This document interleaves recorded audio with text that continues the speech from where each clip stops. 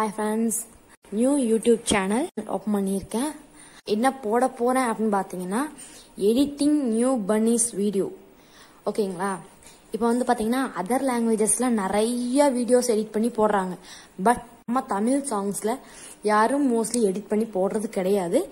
உங்களுக்கு பிடிச்ச சாங்ஸ் மட்டும் கமெண்ட்ல போடுங்க.